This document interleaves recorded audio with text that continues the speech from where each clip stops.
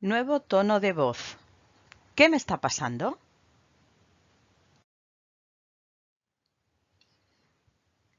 El crecimiento y el cambio de formas de la laringe hace que la voz cambie. El cambio lleva un tiempo, por lo que a veces pierdes el tono de voz y tu voz suena como la de un gallo. Al hablar por teléfono te confundirán con tu padre.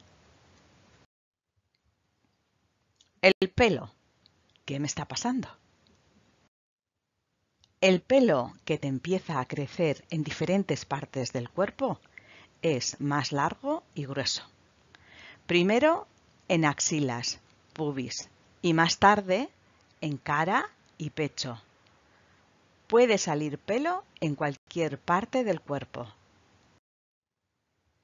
No te preocupes por si tienes más o menos pelo que otros niños. Todos somos diferentes.